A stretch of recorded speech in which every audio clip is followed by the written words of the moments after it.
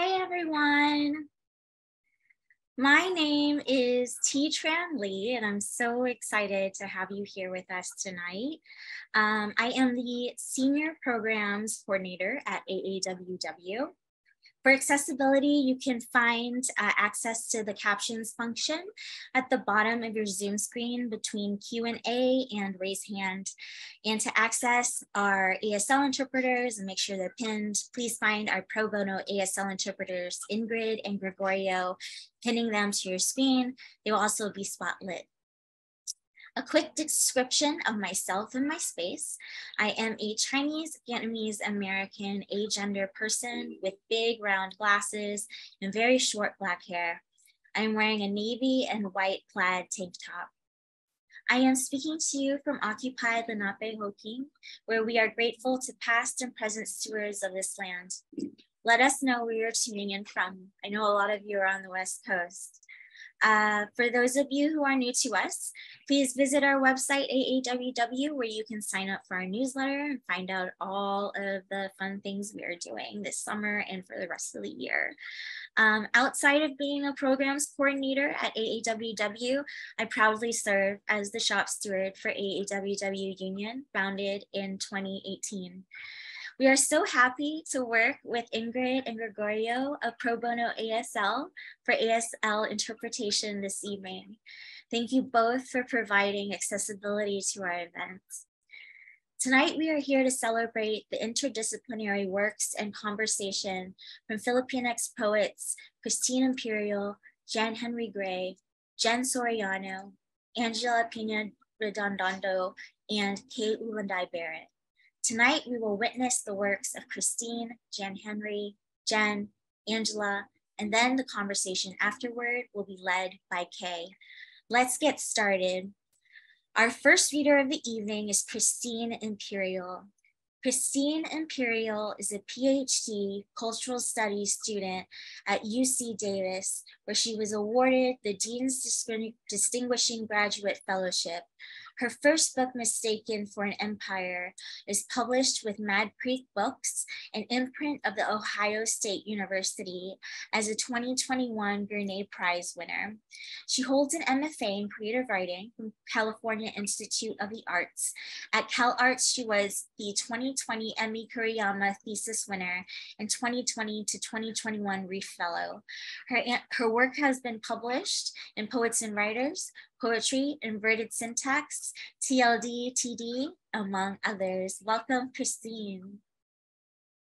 Yes, I'm so thankful to Angela for inviting me and being in space with all these incredible poets.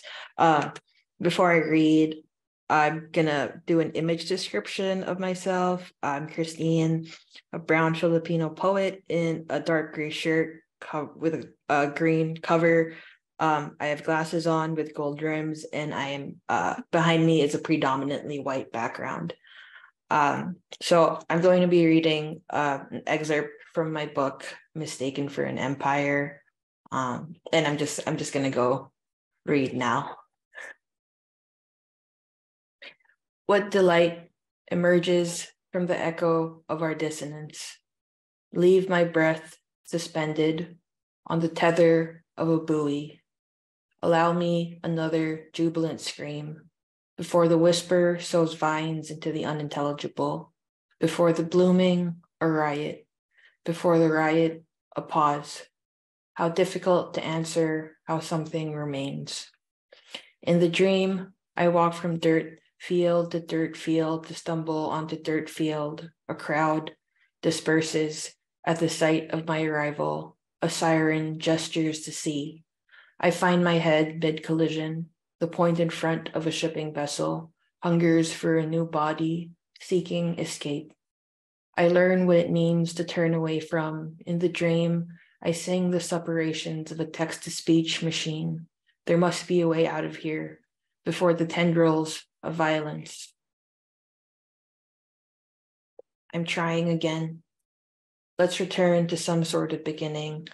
My mother gathers my hair, and twist it into a bun, winding each strand in place. My scalp stretched, I try to look for traces of myself in the mirror. as she dabs as she dabs powder around swollen eyes. You look just like me. A cat eats her kittens. The child's head in her mouth. She understands survival as the faint cry of what was once welcomed. Bone against bone in broad daylight on subdivision sidewalk as fur splinters palate. Young blood blossoms into a five point star splayed across aging snout as skull smashes into teeth. The first response, an ad for prosthetic limbs, reattach the broken pieces with gold, create surface.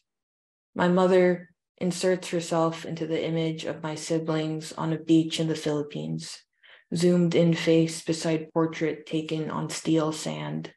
In a gallery, pyramids of foil jut out from the black canvas, car- cutting my body into my mother wears a kaleidoscope of clothes my sister and I forget in her room. The foil carves each limb into triangulations. Behold, this bleeding, this splintered palette.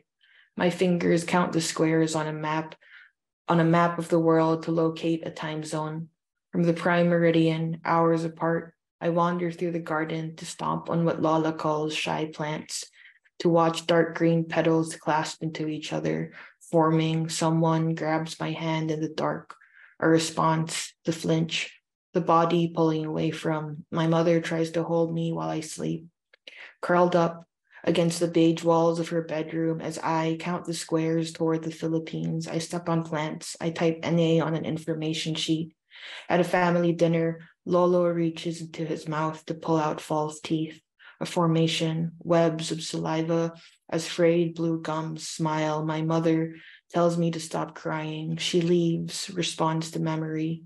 I'm cutting it up, pasting it onto. I count enough toward California. The channels change all at once. Barbara Walters reports the news while a clip of a tiger resting on a smiling cowboy's shoulder plays on. I write desire paths on my palm. What appears a survey of the Southern California landscape displayed on a billboard. An infant grips onto a finger. I peel bark off narrow trees. My sister and I carve faces out from family photos, excited fingers misshaping the round surfaces of heads into rocky mountain paths. Glue oozes from the in between of my sister's face, imposed on a wedding dress. A figure in gaudy floral print as my enlarged my enlarged toddler head cradles my infant brother. We're laughing, passing it around. We cover our mother's face. Yeah. Thank you. Uh, uh, I think Jan is next, and it's very exciting. So. Hi, everyone. Thank you so, so much, Christine. That was amazing. Please, everyone, join me in a round of applause. Um, and yes, next, we are so excited to introduce Jan Henry Gray. Um, Jan Henry Gray is the author of Documents, selected by D.A. Powell as the winner A. Poulin Junior Poetry Prize and the chapbook selected emails from Spect Books. He's received fellowships from Kundiman, Undocu Poets, and the Cook Foundation. He was born in the Philippines and has lived in San Francisco, Seattle, Chicago, and Brooklyn. He is the assistant professor at Adelphi University in New York. Please, everyone, give a warm welcome to Jan Henry Gray. Hi, there were so many buttons to pay attention to.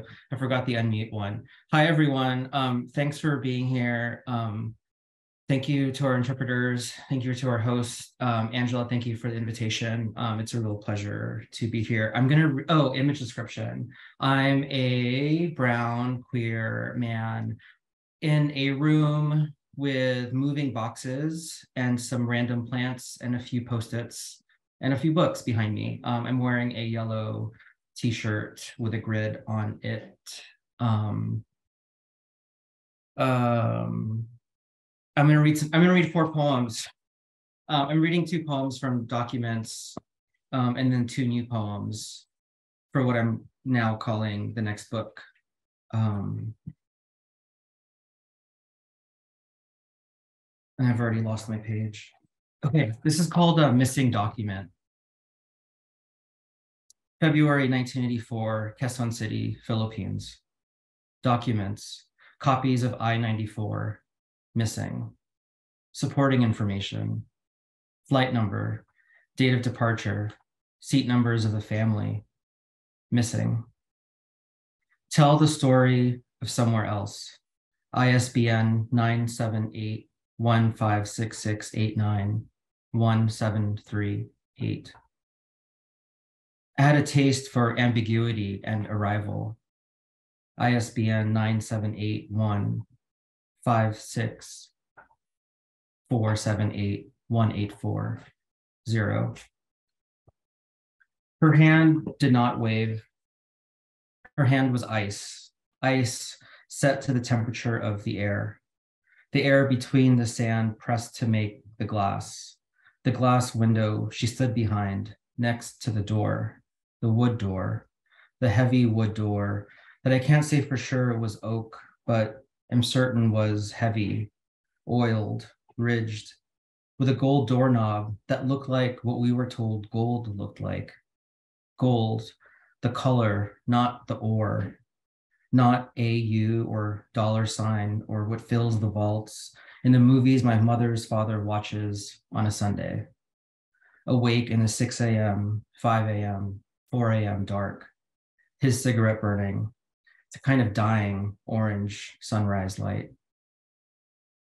Her hand, her hand against the glass, my mother's sister's hands, or maybe they were Maya Darren's hands. Something's getting in the way. Can't say for sure. My mother's name is Rebecca. Focus. Tell us about her hand. What do you see? Ground us in the work, the details, go there, really take us somewhere.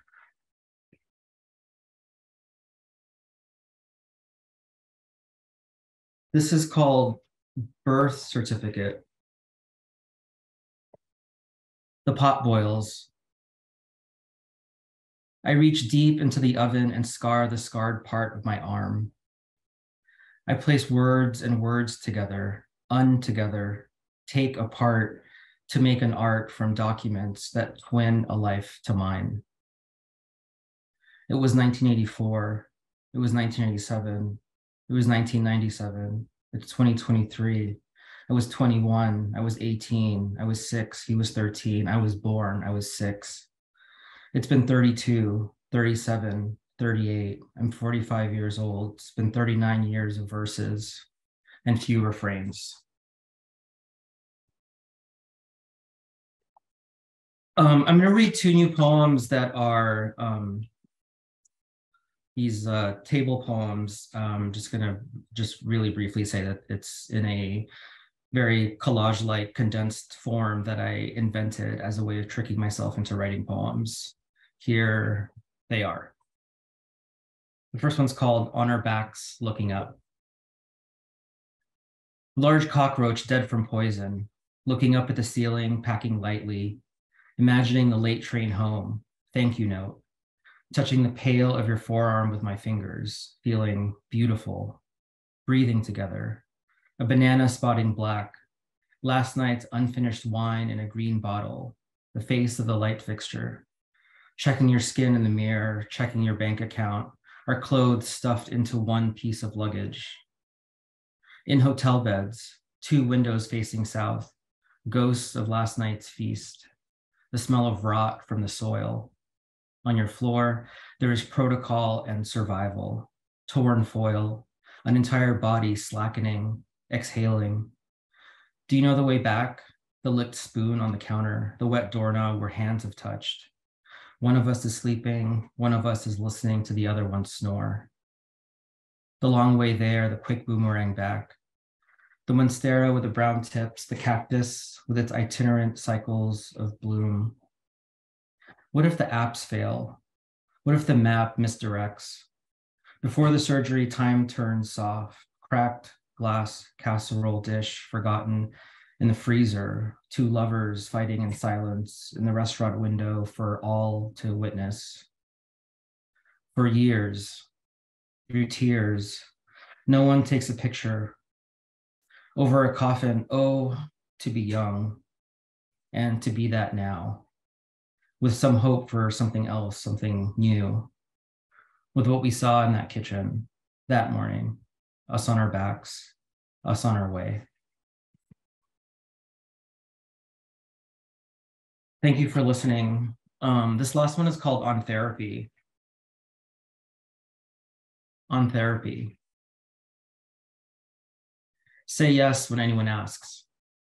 It can happen all of a sudden without the writing on the wall, some proof that the person is yearning, clawing for language, craving clarity, with grace, with gratitude. Over time, as a gift and not an exchange, health breeds health, ill equipped.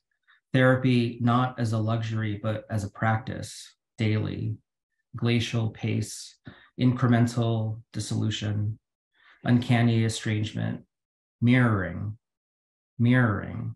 Maya says that all we have is time and we can only control how we make use of our time, our pleasure.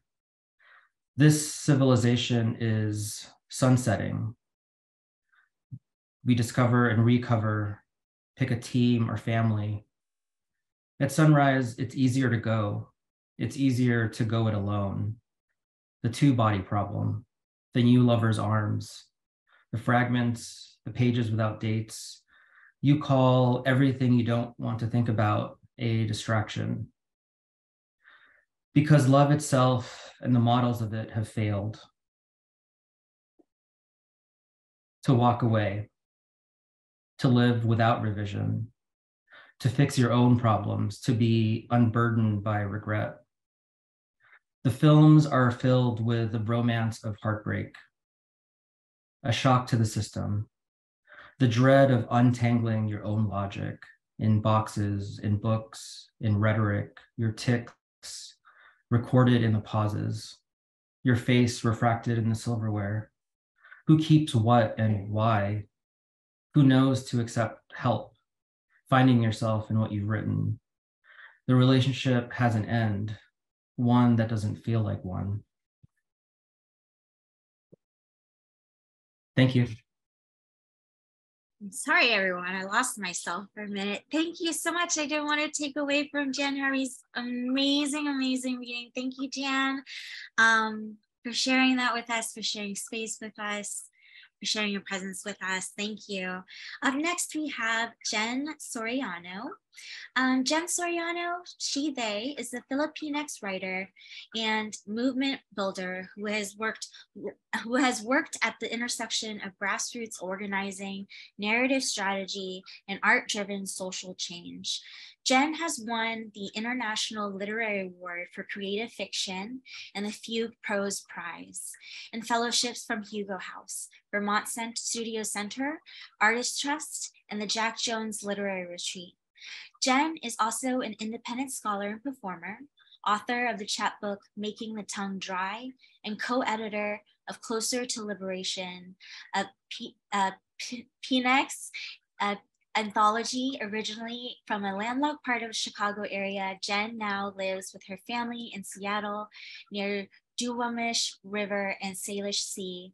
Her debut essay collection, Nervous, will be published August 22nd, 2023 by Amistad Books. Give it up for Jen. Thank you, T. I am going to share my screen, but before I do that, I'll give a quick image description. I'm a light-skinned Filipinx, non-binary femme with asymmetric hair, and I'm wearing a baseball cap with a colorful brim and long blue feather earrings, a blue tank top, and behind me are walls with activist art prints on them. So I'm going to share my screen because what I'm going to share with you all is an excerpt from my forthcoming book, Nervous. And it's from an essay called 381 Years um, that I wrote in the format originally of the Bible, but then it evolved into a format that is what I think of as a visual representation of a balagtasan, which if you don't know what a balagtasan is, it was a verbal sparring match between two poets uh, that was uh, invented in Tondo, Manila, in, in the Philippines. All right, I will just dive in. Um, oh, sorry, one more thing, content. Content warning that uh, this reading contains descriptions, historical descriptions of war and mentions of violence and mass rape. 381 years. Colonization, the scramble to cut and consume bodies, or dividing the map into slices of bitter imperial pie. Balagtasan, the clapbacks that remember our agency, or a head to toe anatomy of history that leads our bodies somewhere whole. Belly, Laughing saves the family, my aunt used to say.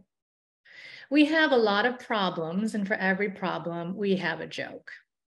My aunt knew in her gut what Freud had to write a book about to understand that jokes rescue pleasure that would otherwise be surrounded by suffering. When MacArthur returned to the Philippines in October 1944, his troops surrounded Manila to take back the capital. My uncle also understood that humor was a way to take back power and triumph over indignity. Though history celebrates this moment as the triumphant bookend to MacArthur's declaration, I shall return, it was more a moment of I shall blunder. MacArthur had cut off the Japanese escape route, prompting what would become one of the bloodiest battles of the Second World War. My uncle once waited all day in a line that surrounded the US Embassy in Manila, but was rejected for a visa for the third time. His chances to go to America cut off, he started arguing with the embassy officials. Japanese soldiers behaved like cornered animals. They blew up factories and warehouses and took down power and water systems. Large hotels, including the Manila Hotel, became sites of organized mass rapes. Whole families were slaughtered, babies were bayoneted, pregnant women disemboweled. An embassy officer called my uncle a monkey, and so he began to behave like one. He yelled, ooh, ooh, ah, ah, and scratched his armpits. He waved his hands in the air, but the best was yet to come. This does not even count the American shellings and bombings that were to come. While the embassy officer watched my uncle's hands wave around, my uncle took advantage of the confusion to pop a heavy punch to the officer's jaw, then ran away. The 37th Infantry Division led most of the American combat in Manila, and it was known for being heavy handed with its artillery. This was part of their strategy of saving American lives.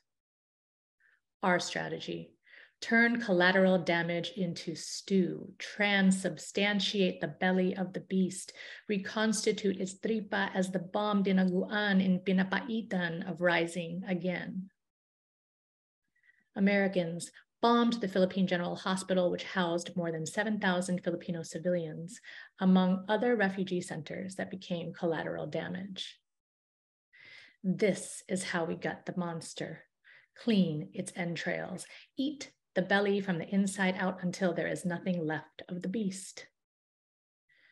The American High Commissioner later admitted We leveled entire cities with our bombs and shell fire. We destroyed roads, public buildings, and bridges. We razed sugar mills and factories. In the end, there was nothing left. The humor of the oppressed is raising something out of nothing, a peso out of 15 centavos, multiplying survival by the factor of a Benjamin. After the Battle of Manila, about 1,000 American soldiers died and at least 100,000 Manila residents were killed, many buried in unmarked graves. In the end, we can only touch into levity once we exhume ghosts from their unmarked graves. Total Filipino deaths across the archipelago over the course of the war totaled more than 1.6 million. For this, they also tried to destroy not just our joy, but the glory of our grief. Historian Daniel Immerwahr calls it by far the most destructive event ever to take place on US soil. So from the soil of our bellies, let there flow the groundwater of laughter intermingled with sobs. Our smiles will not be minstrel shows for the master. I think I'm actually going to end there.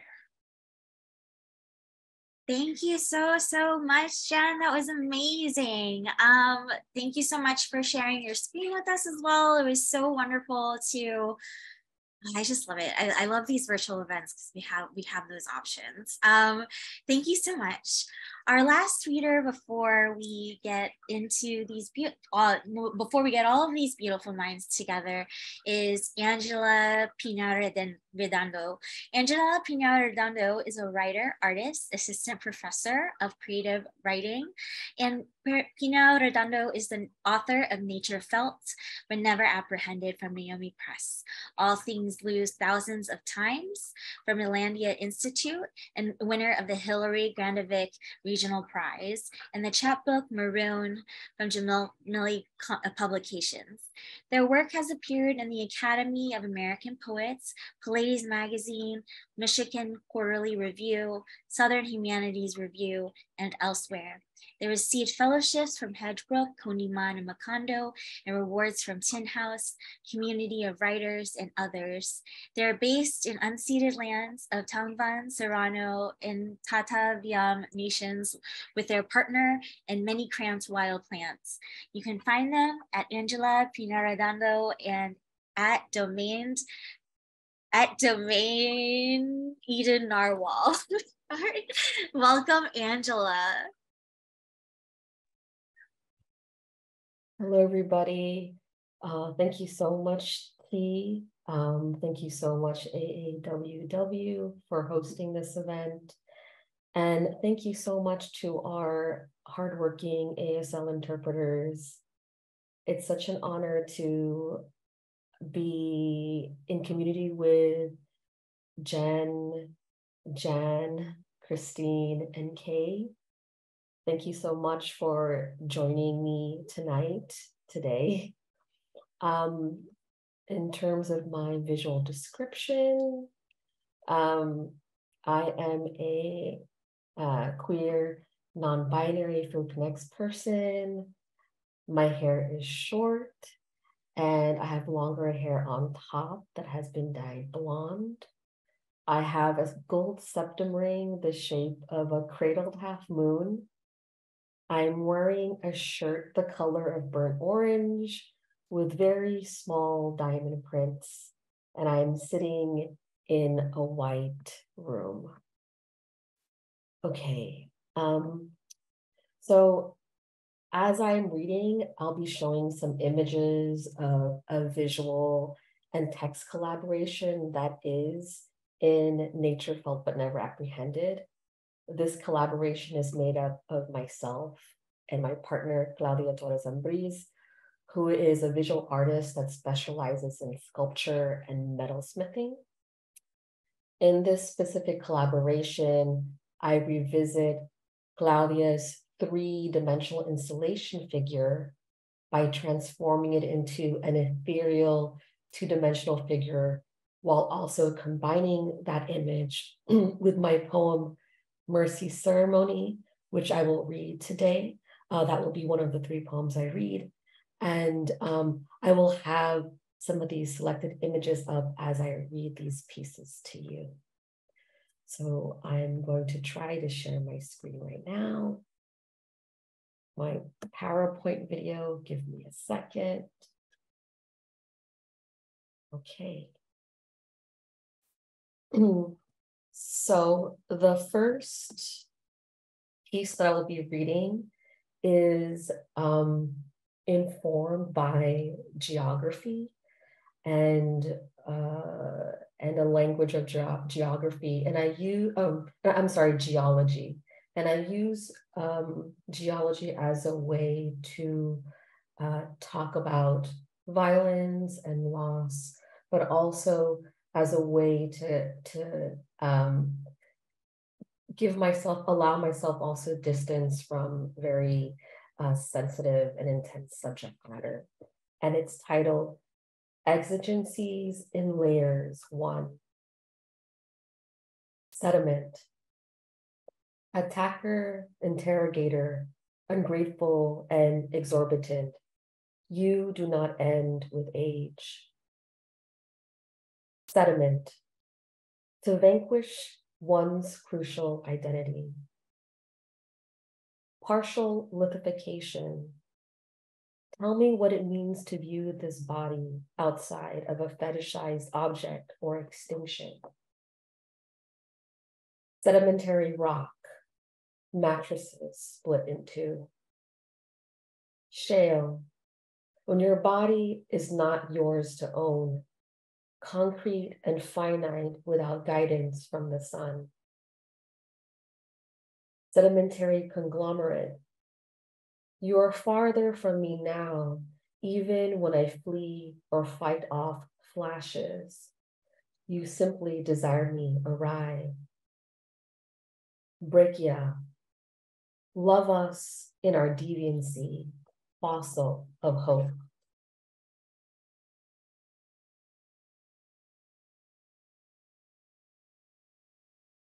Okay, the next piece that I am going to read is um, uh, a poem inspired and informed by uh, the film Markova Comfort Gay. And it was a Filipino produced film done in 2001 or around the early 2000s about a Filipino drag queen who performed and also was a comfort person, similar to comfort women, uh, to the Japanese during the Japanese occupation in the Philippines during World War II. And as you can see from the background, I'm also sort of changing the images slightly here. So this poem is titled Letter to Streets That Burned You. Dear ungiven name, one who has been heard if tied by rope, if paired with glass, if adorned in tektite. Dear sunburst of whipped black wigs, emerald sari starlets at the Subaki nightclub on the corner of Mabini Street.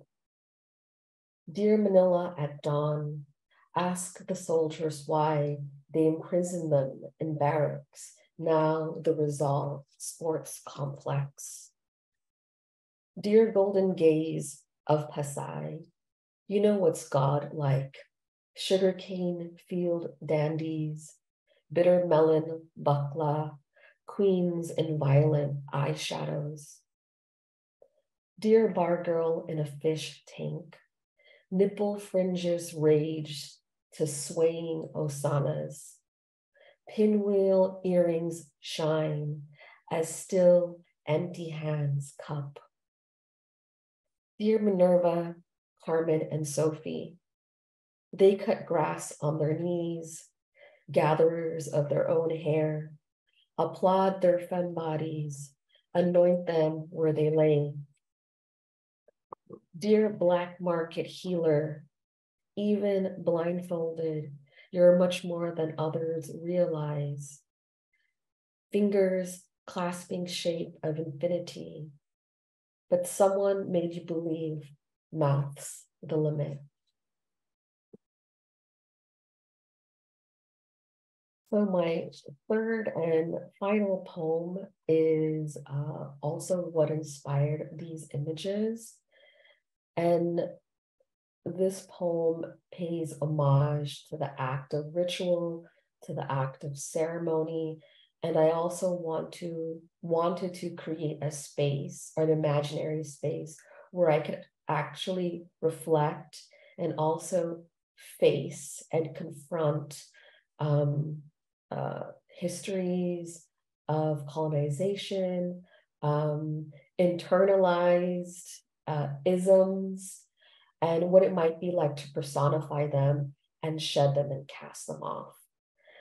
And this last piece is titled Mercy Ceremony. I am slaying you in my dreams.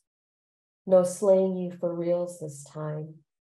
Steel pointed aim like hawkbone at your bare collar.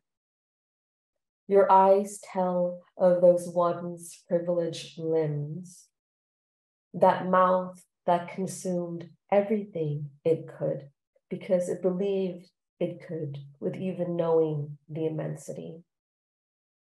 What was once stripped away from me is no longer an invisible assault buried under bladed tendrils of seaweed, havoc of sea grapes. There's nothing holding me back from carving as one does when whittling wood. This butterfly blade on soft tissue to etch my name. On your skin, this name for ocean, its secret wind, this tender gouge, jellyfish, all cinematic, haunting above flaring sea anemone. Black sands of my birth, its unseasonable foam, you rope bound, covered in lava sediment.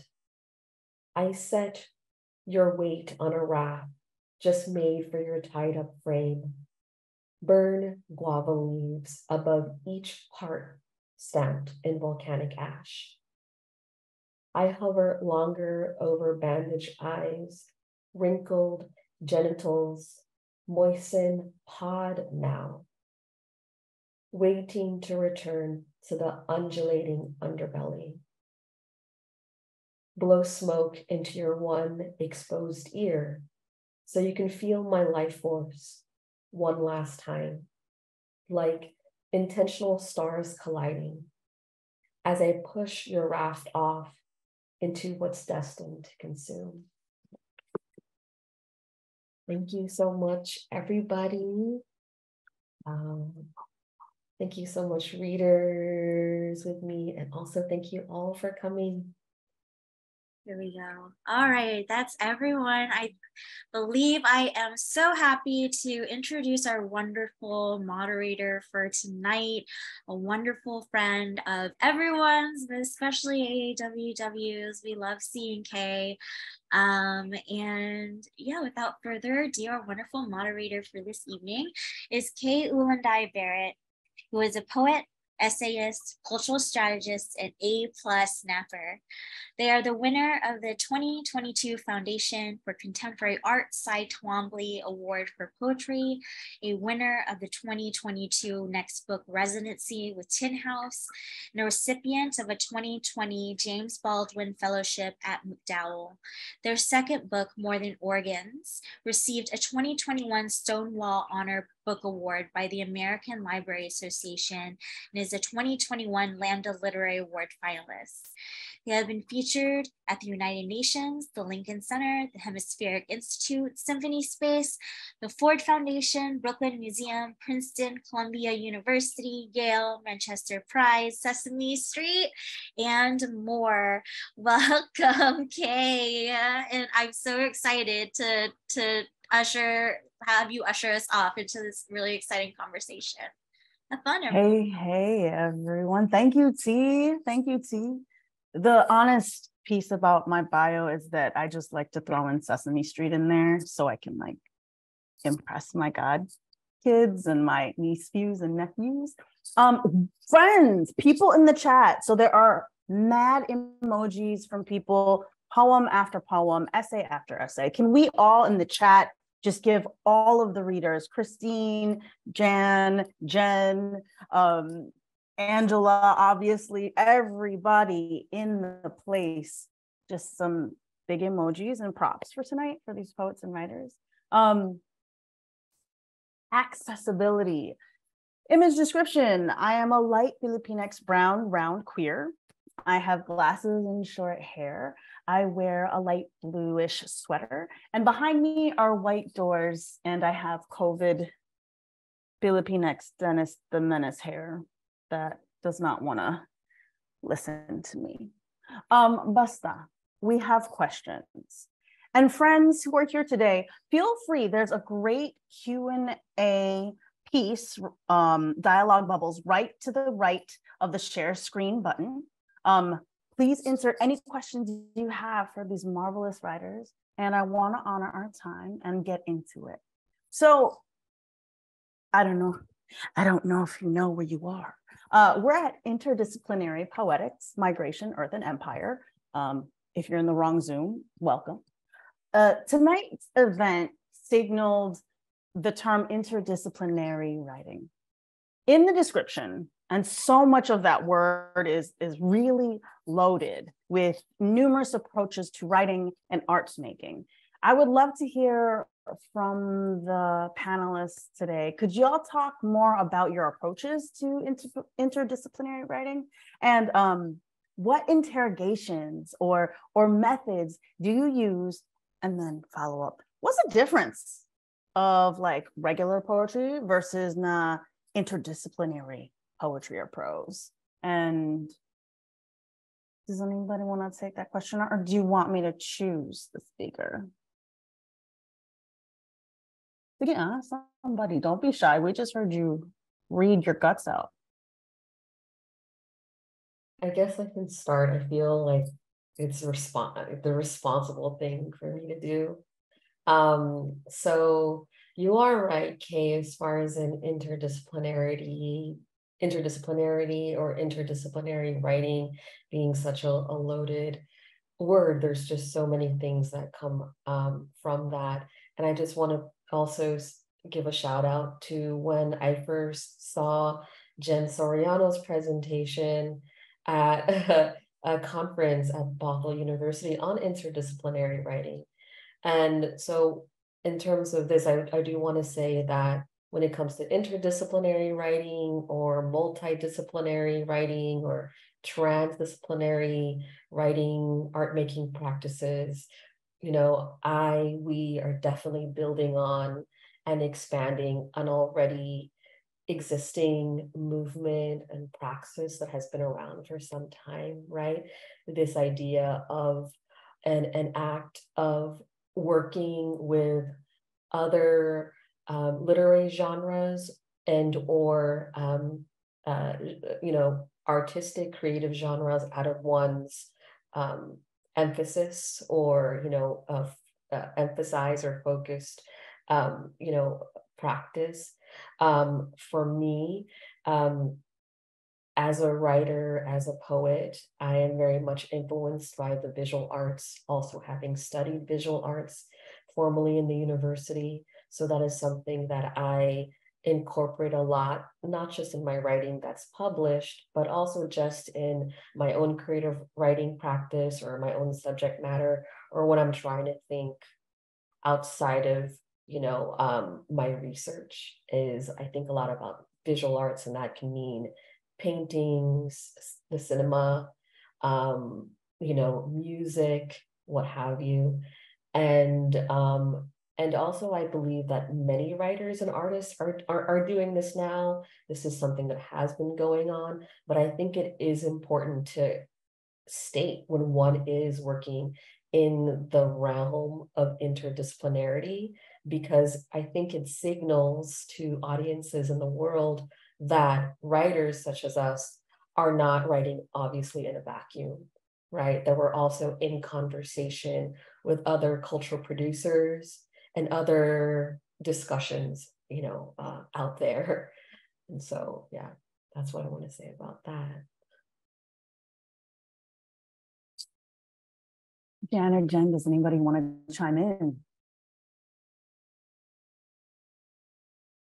I mean, like similar to Angela, I mean, I think you know the visual is so important. I mean, specifically for me, I think I'm always sort of jealous of film and jealous of visual media um, in its sort of immediacy, its urgency, its sort of um, uh, uh, in the ways that it's sort of maybe even more or differently accessible than the written word, especially when it comes to like poetry, like capital P poetry. Um, but I think an interdisciplinary approach doesn't even have to be one that you are actively choosing. I think it's sort of a um, it's sort of an impulse. And I think it's an impulse for queer folks. I think it's an impulse for migrant folks. I think it's an impulse for anyone who wants to resist or does resist anything that's kind of normative. Um, and I think an interdisciplinary approach, especially to poetry, is one that doesn't want to simply like mimic the poetry that has come before. And so I think like so much of the work today, especially, has been so much about like kind of pushing at the edge of that um, and kind of seeing what else because we all know there's so much out there there's so much out there beyond the poems we grew up reading or the poems that we were taught in school wherever you went to school. So i think that's a big part of it um, and yeah i think it's really exciting and i yeah i think it's exciting and i think that it's um i almost think that it's not even something you have to like wait for. I think you can start you know like i teach poetry and i think it's something you can like start with on kind of like day one, especially in a sort of like in, in, in academic settings or more formal settings, is starting there is actually a way for for people who, especially for students who are intimidated by poetry, it's a really great um, sort of access point. Yeah, Jan, and I think I think to your point, um, when we're thinking about these nonlinear approaches, I feel that memory and reporting is really nonlinear. Uh, with a lot of your work tonight and all the pieces shared, there are a lot of deep threads around nostalgia and reportage, right? Um, in in your writing, can you you all talk more about how nostalgia and memory build the writing, this interdisciplinary approach? Um, how do nostalgia and memory work itself into your writing and arts process? I feel like it's very connected to an interdisciplinary or hybrid approach.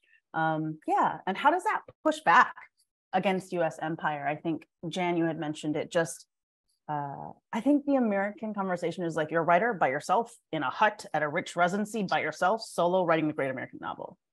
So, can you all talk a little bit more about how nostalgia works in your writing? I can jump that one off uh, with first a, a, a response or kind of a piggyback off what Jan had mentioned around interdisciplinary writing being an impulse. Uh, I completely agree. I um, I think that uh, I'm going to try to um, weave in Kay's question. Uh, I think that for me, the nostalgia piece um, has has has come from almost like a longing to be nostalgic. Because to be nostalgic, you need to have clear memories of something to be nostalgic about. And um, when I write, I actually feel a lot of grief around not being able to reclaim clear memories and clear history. And so the impulse to write not just in straight prose, but in what people might call poetic prose or lyric prose, uh, which I believe is a form of inter- interdisciplinary writing, comes from um, less of a choice and more of a need to be able to imagine into the gaps that have been uh, willfully imposed on our experience. And uh, so I have never found just straight prose to be something that serves my authentic being, nor my uh, uh, my desire to write into, as somebody put into the chat, a glorious future. Uh, and so interdisciplinary work, I think absolutely can be an impulse that is maybe instinctively a decolonial impulse. Um, but I think it's also a choice. I think it can be a choice to maintain because interdisciplinary writing doesn't necessarily pay the bills. Um, it, it, so it's inherently anti-capitalist as well. and so I do have a nostalgia for not necessarily feudalism, um, but I have a nostalgia for days of maybe what I imagine to be some aspects of barangay living pre-capitalism, you know, where I do try to, I think, use some of my writing to create uh, maybe a visceral feeling of interconnectedness that's hard to feel in in our current capitalist state of being. Um, so I'll I'll leave it there. Mm-hmm, mm-hmm. Anybody else on panel who haven't spoken I want to chime in?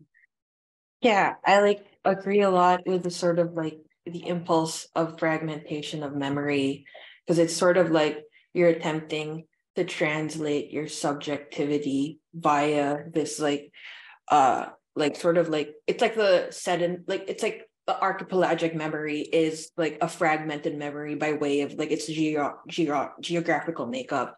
And so like thinking about like when we're like remembering it's always fraught with separation and sort of like movement of water too and movement of like bodies and sort of this yeah like when i'm thinking well, like my whole thing with my book was like translation and like translation of english into tagalog and like stepping into that work of memory of like language acquisition of tagalog and sort of like being in touch with that language in a way that like has makes me aware of like I my own complicity in sort of like American English hegemony in the Philippines too. Um, yeah, and just a lot of like, and it's yeah, I just agree with everyone on on that stuff. Mm, okay, okay. So we're moving again. We were talking about um, Filipinx, Filipino, Pinoy, Pinay, hegemony, hegemony, and introduced actually the barangay, which moves me to this, connecting to this. I think there's a frequent motif in um, the diaspora or in Filipino, Filipinx, Pinoy, Pinay writing that there's an immediate call to family, right? If there's one thing that I feel that there's a commonality, it's that. To the, to the sincerity of mothers mentioned in both Christine and Jan's pieces, um, from how Jen emphasized auntie and uncle humor as wisdom juxtaposed with colonial violence. And lastly, the, the beauty, the sweet, bittersweet of Angela challenging, um, channel, channeling the range of queer familia brilliance. Can you all talk more about how you see the role as family in your writing? What does the emotional temperature do when you explore family in your work? Because everybody knows I love a sad mama nanay poem. That's like my niche, but I don't want to like put us in a trope. So I'll talk about how you all connect, nah?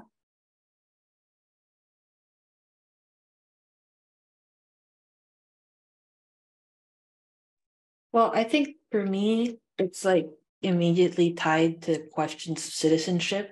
Like I'm given my US citizenship because of my mother and like thinking about that relationship to mother tongue too, where it's like it gets complicated there because that sense of like belonging in this national language is already like escaped from me and sort of like uh, wasn't nurtured um and thinking about this like i like trying to like like the maternal figure as not someone who was always like the sense of home but the sense of like desire to escape too. Um and thinking about like the philippines itself as a place that at times you like want to escape. Like it's a place of belonging but it's also a place of like i think you can like like dormancy for like the self um yeah and sort of like going against uh yeah, I'm going to stop there.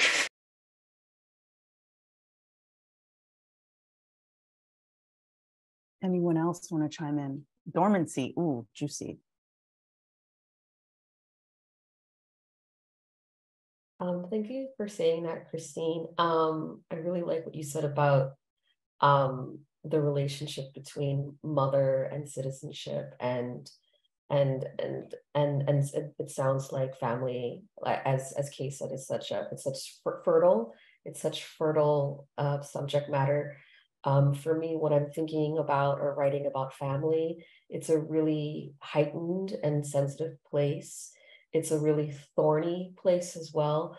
Uh, so it is a place for, for me in terms of where i can encourage a lot of subversion where i can in, where I can actually um, play and engage with creative and mental and emotional dismantling um, in my creative work. And that's why interdisciplinary or multidisciplinary um, writing helps or and it can be an aid what jan said is also this impulse to want to resist um, you know what has been embedded or imprinted uh, for me as family on a cultural historical well we'll just say cultural level.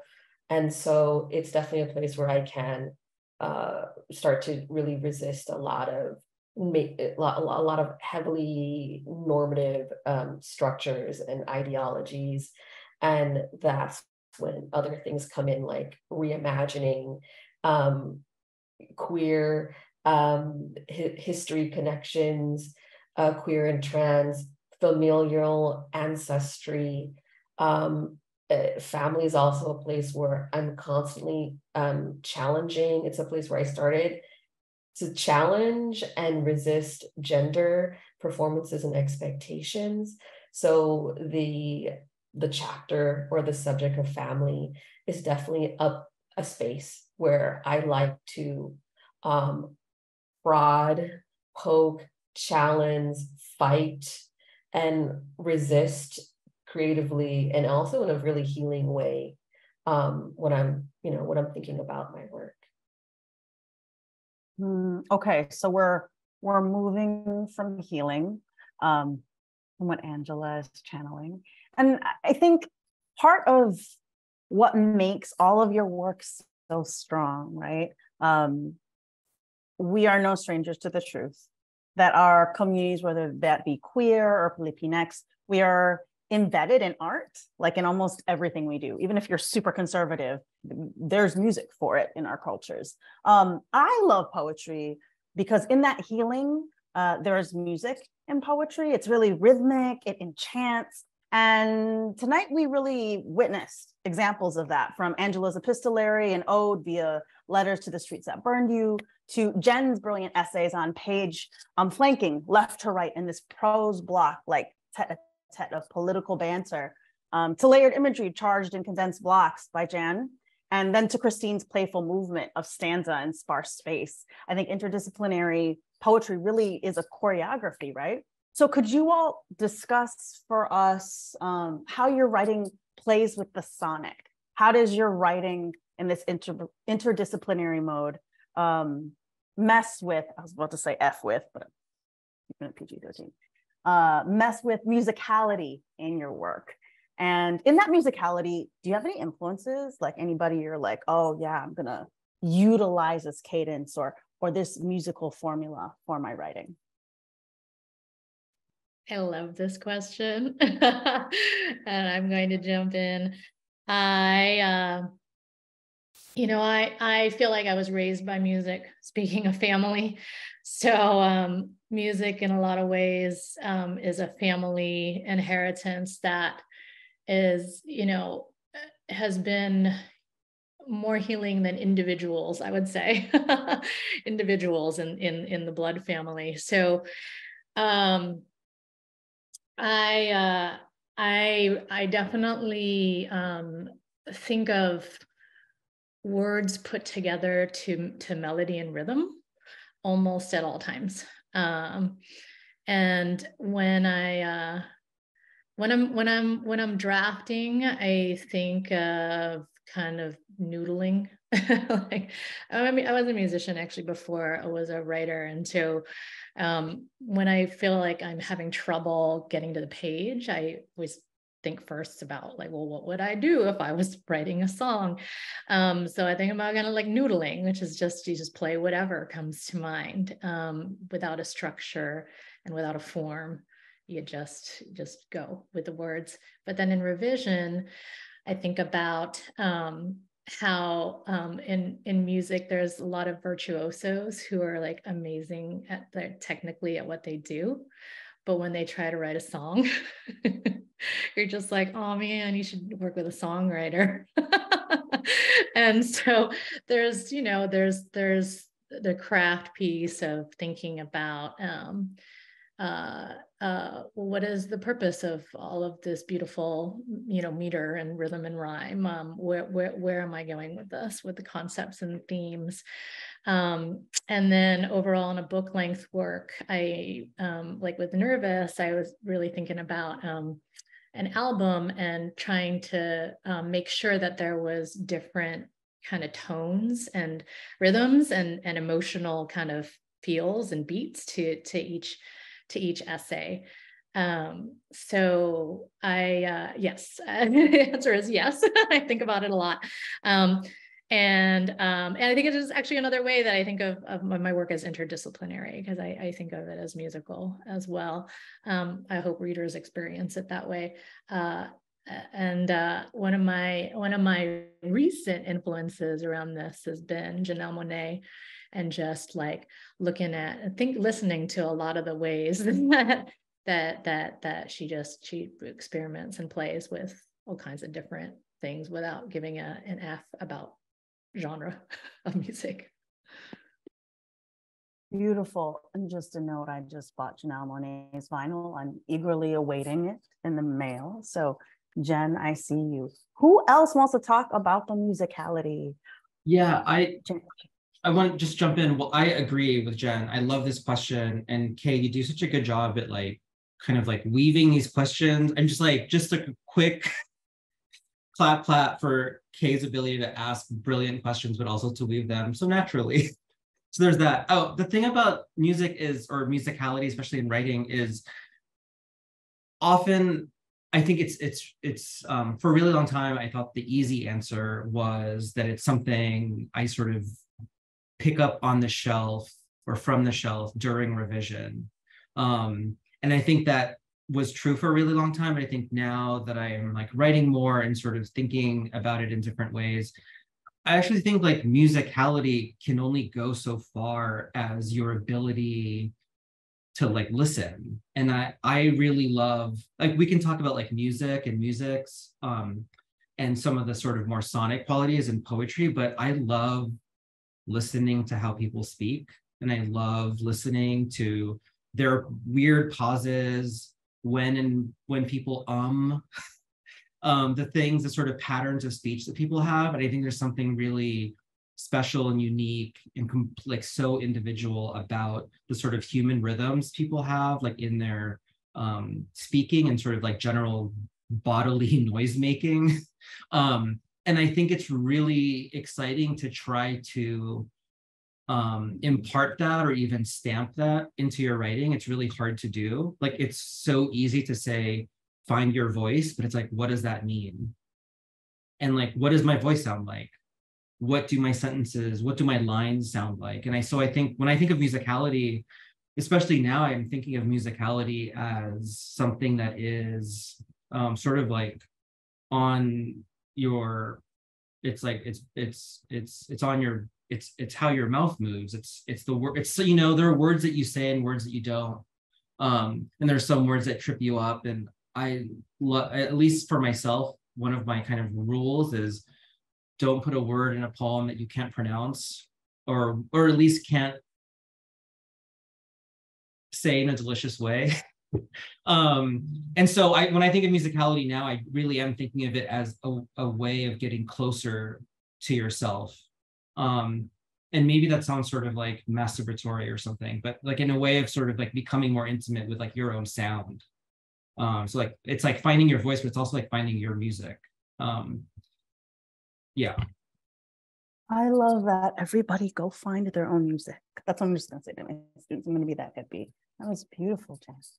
Um, so just letting you all know as far as accessibility, I have two more questions and then we're going to open up. We're going to try to wrap up at about, we have apparently till nine, but I want to honor people's time and probably go till about 8.30, 8.35.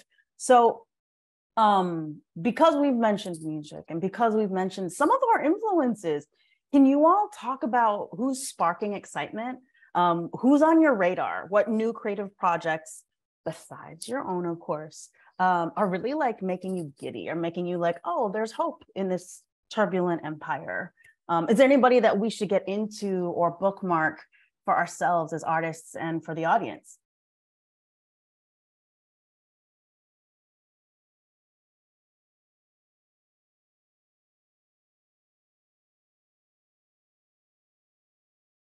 I mean, I have several recommendations, but somebody else can, can I, I, guess, I guess start.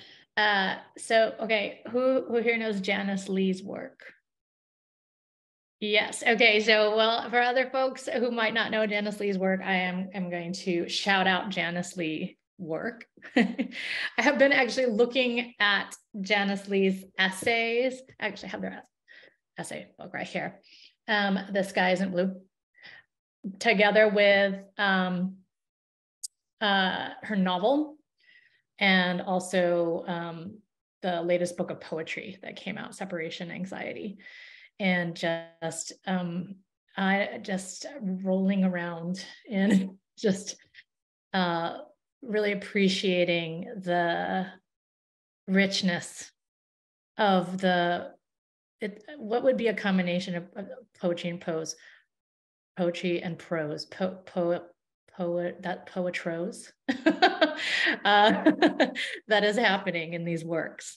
Um, and the ways that you know that deep subjects are covered in in in with with pretty glorious beauty. So that's who's on my reading list right now.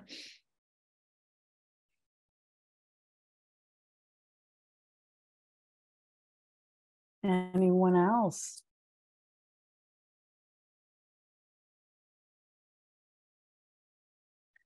Okay I will go. I will not fight you off. First is um, Miss Major, Conversations with a Black Trans Revolutionary Speaks. It's written by a queer Asian, actually, Toshio Meronek, who's really prevalent in the Bay. Um, just, I just need to learn more about queer movement before 1990, you know? like, come on. And then Basta, a new one that's out is a more academic book, and it's uh, by a poet, an Arab queer femme Palestinian poet, pre Palestine, Between Banat, a queer Arab critique in transnational Arab archives by Mejdulene Shomali. And then I'm really messing with um, Freedom House by KB Brookins, Black trans in Texas right now. The, the structures are really beautiful. Um, it goes from really succinct prose blocks to like the physical space of a house and also um, really messing with like forms as far as like resumes and CVs as a trans and Black person. So um, those are my current three. And uh, Golden's A Dead Name That Learned to Live. That was a Lambda finalist in trans poetry. The, none of these people are very um, linear. So I always love to read um, essayists I like are Pamela Sneed, who's a poet and a theater artist and an essayist. I just like people who could do all the shit at once. This is why we're all here.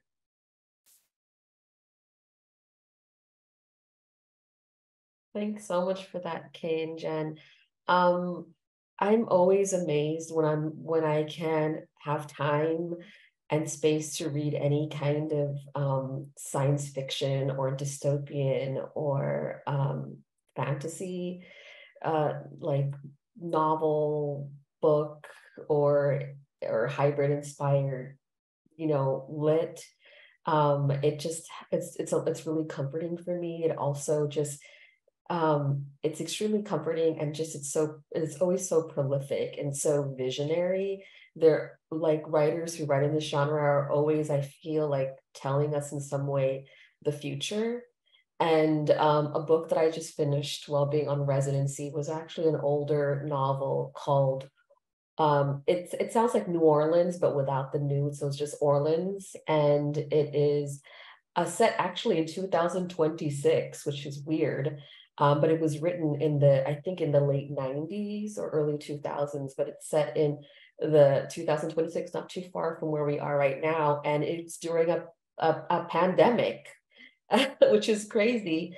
And um, but the but the South is specifically affected specifically um, the New Orleans area and, and an area around New Orleans. And the writer is a, Black writer who is who has family from the South, from New Orleans. But the way that she talks about um, um, like uh, the environment, the natural environment, um, playing a huge role in uh, a dystopian, uh, like a dystopian like landscape and setting, I think is really beautiful. And I just think like the imagination that in the planning and the research that goes into this these kind of dystopian settings again they're just so inspiring but also they're they like cradle my very um sensitive rebellious um at times like pessimistic heart and um it, it's just it gives me a place where i can kind of dream and put myself in these in even hyper dystopian settings and and think about survival in um, really creative ways, especially authors of color who are writing about this. And, you know, we have this protagonist that is, you know, uh, like a protagonist person of color or a femme identified person of color. Like those are things I'm really excited about when I do get my hands on them. So, Angela, this brings us to um, connected to dystopia. Awkward face. Uh, my last question uh, finally, given to the current tumultuous political context of the pandemic, of dystopia, um, I was, uh, I'm in the East Coast, and so the Canadian wildfires really brought that yellow haze motif that I was not interested in, you know, um, when we're talking about climate catastrophe. So if we think about that context, as well as both and nah, uh, the beautiful union and organizing efforts locally and globally. So for arts uh, I would point to exactly T's efforts and AAWW Union to HarperCollins um, as multimedia and interdisciplinary writers and poets. What do you hope for the future? What do you hope for interdisciplinary writing? Um, and what do you want to see it do? What do you want to um, experience more of? And after this question, we will open it up to the crowd.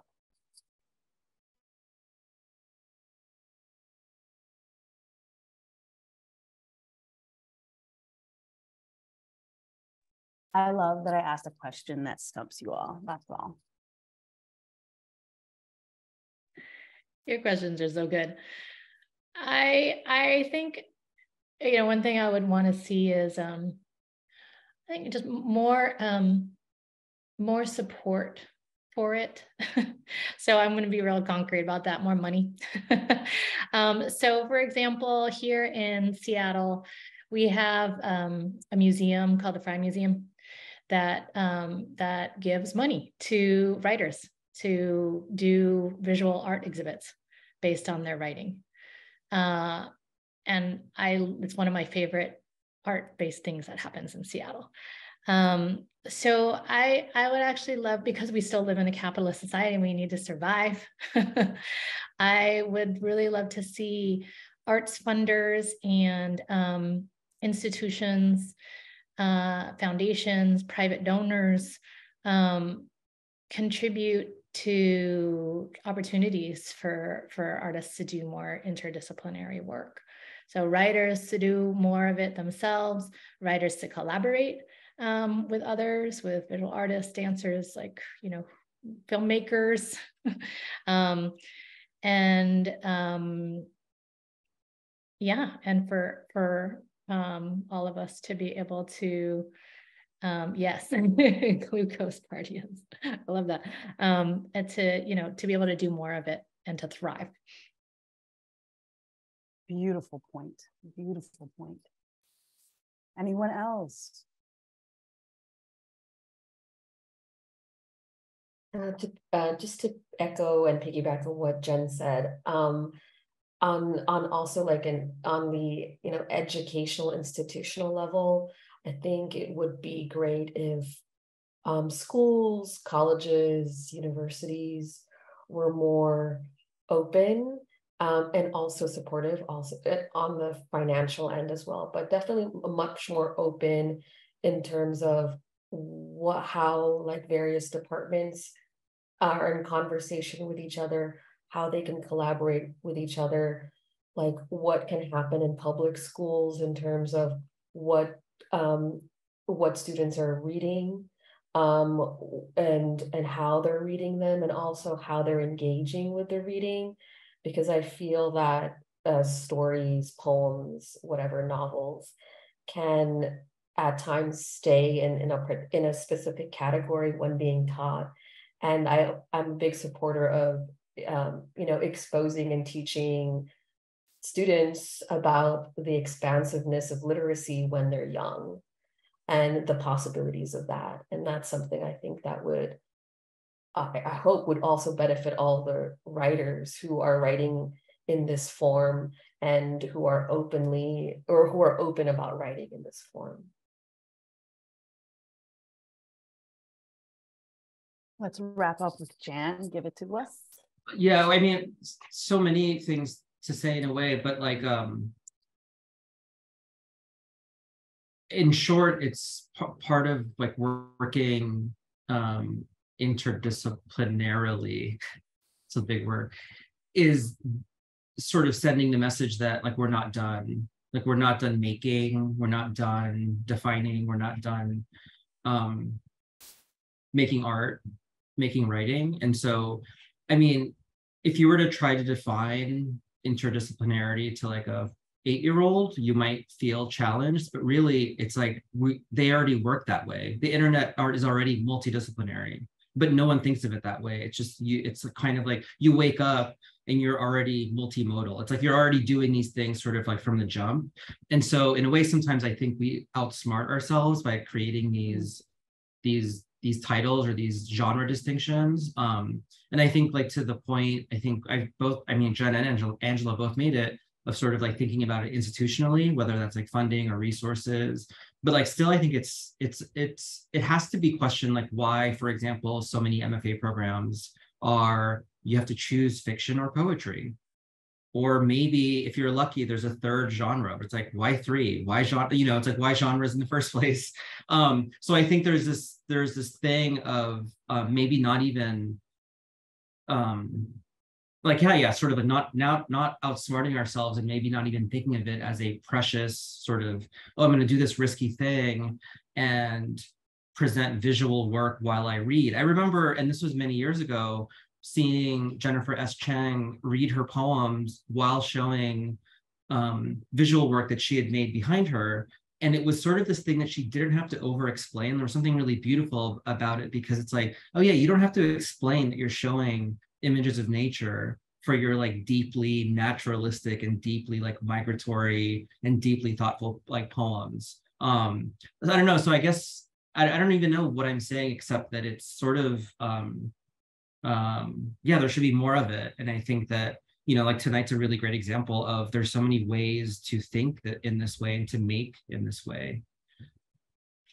Beautiful, beautiful, Jen. Thank you for letting us expand um, how we think and where we are. I want to just open up a good 10 minutes committed because we want to also honor the ASL interpreters time. It's a hard stop before 840 um, and pull from the questions in chat from the crowd. And I'm going to read those questions. And if we could get just two panelists per question, just so we know that we're at a tight stop, I would love that.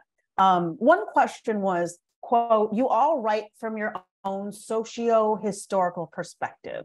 How do you deal with the pain of knowing and then transform that into your works? How does the painful past become our glorious future? Friends, I don't know the answer to this who wants to take this on? So what I'm hearing is pain and knowing how to move forward.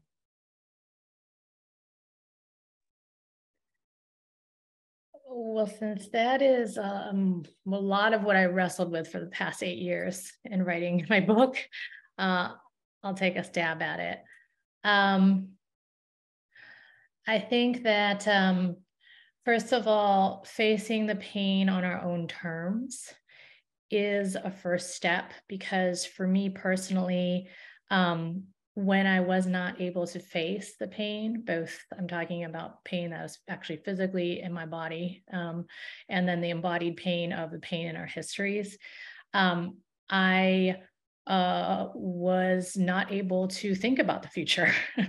I couldn't even barely get through the present. I was never present, even. Um, so I think you know the actual processing of pain through through writing um, is a first step to then being able to touch into uh, the other feelings that can come with with envisioning a different future. Uh, and in the interest of time, I'll leave it there.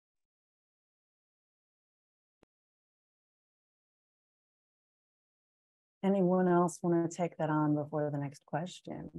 You know, no, no uh, pressure. Just wrap up pain and moving forward in like two minutes. That was sarcasm.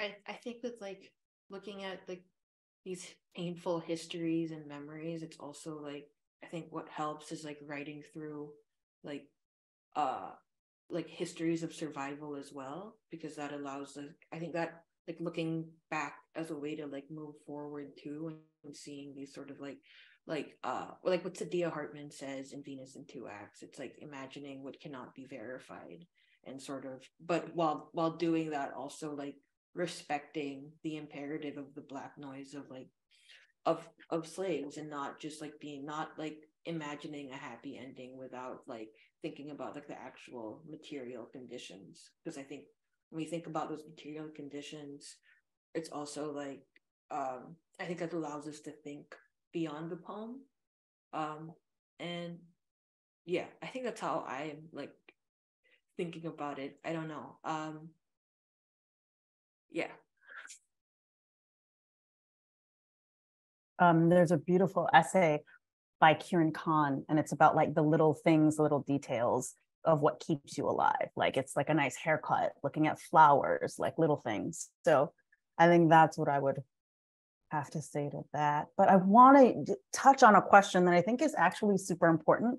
And I don't know if the literary discusses it, even in Asian Pacific Islander, Southeast Asian, South Asian circles. And I would love for this um, to be uplifted by Angela and Jan, actually, uh, someone wrote, thank you all for being here and sharing, three exclamation points. This is the first Filipinx literary space. And as an aspiring Filipinx poet, this is so, so, so special to me. Heart. My question is, how did you find the spaces that encouraged your writing? And in what ways do you move through creative blocks when so much of the process can unearth complicated histories, trauma, etc.? How did you all find your writing homes?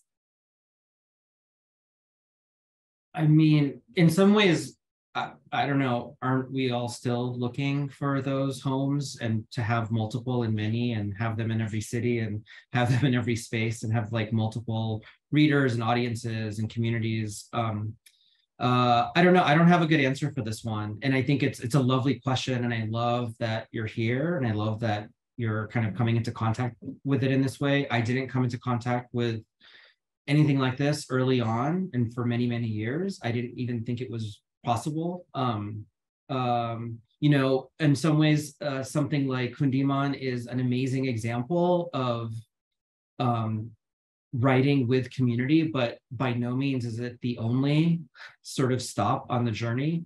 Um, I think that it's sort of about being a little stubborn and maybe even a little, um, you know, like to advocate for yourself and just sort of, you know, create your own spaces and and sort of um, show up when you can, um, depending on where your sort of geographic community is, your literary communities uh, are. I just know that it's not, it's not, it's not, it's not always easy to find. I'm sort of imagining like a queer person asking a, a similar question maybe 10 or 15 years ago. It's like, where do I find queer community in my small town?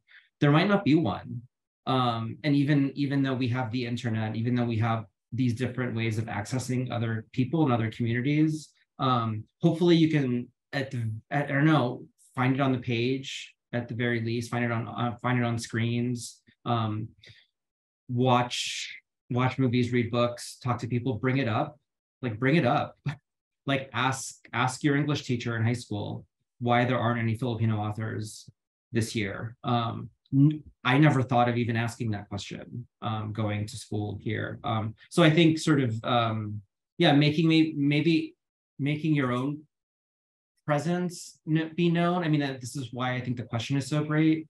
Is you ask the question and and, the question is as an aspiring writer, it's like thank you for telling us that and thank you for like saying that out loud. And we look forward to reading your work and hearing it out there. Angela, what are your thoughts on this question? Um, I think what Jan said, oh my God, I think Jan said so many important, valuable things that I can relate to. Um, that I think many of us in this panel, many folks that are out there that can relate to um, with everything. There isn't just one space, there are multiple spaces out there, but there's also this presence that also can feel really isolating depending where you are physically, depending where you are you know i don't know uh, mentally or emotionally. And um, but what it means to also challenge those spaces like what jan said asking you know your teacher your mentor your friends where are they? Where are the filipinx or filipino american or filipino whatever queer trans filipinx writers where are they and why are they in our syllabus or our spaces or our classroom? Or can we find them together? You know or maybe are there other asian writers that we can find together and that always opens up to more right? I always think about like one door or one window opens into another space and sometimes that has doors and windows there that open into another space and a lot of these are unexpected. So i think being open to the unexpected um, and just being open in general um, i mean you're here so you being here also will probably open other portals to other resources. And and again, I want to say that I can completely relate with Jan. Um, when when I started, whatever that was, like it it it. Uh, well, I did the quote thing. I know that's not in style. Whatever.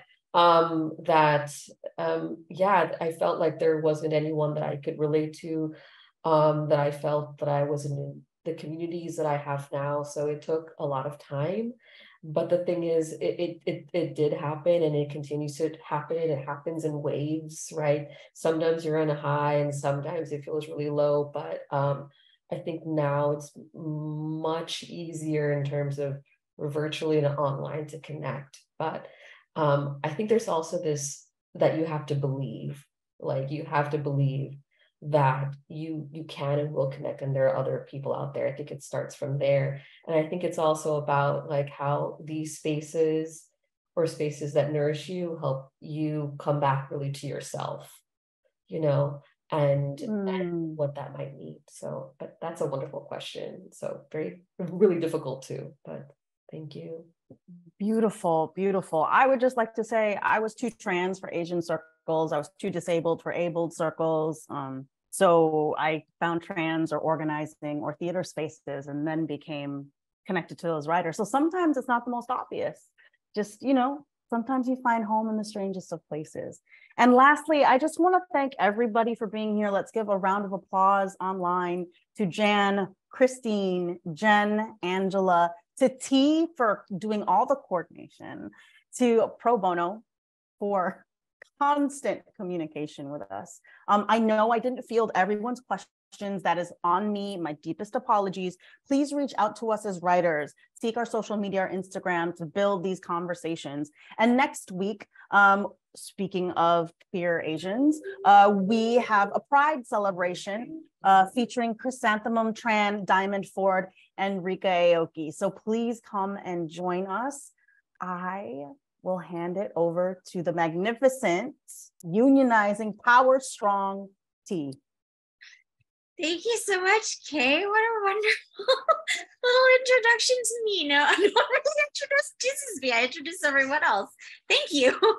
Um, thank you to our readers and Kay for moderating such a wonderful conversation. I just thought what we ended it on was so special and important to say every time. I feel like we have a lot of those conversations about spaces and finding spaces, but it's very important to have those conversations every time they come up. Um, Please join me in applauding and thanking our dear ASL interpreters, Ingrid and Gregorio. We're always so honored to work with Pro Bono ASL to provide ASL accessibility to AAWW virtual events. To our audience, thank you for being here. I have put in the chat links to everyone's books. Please order their books. There are many publications from all of our writers here. Um, and then also uh, we have, yeah, like Kay said, we have an event. And if you scroll up in the uh, chat a little bit, next Thursday, a week from today, we have our virtual Pride event and you can RSVP for that. And we'll see you there. All right. Thank you, everyone.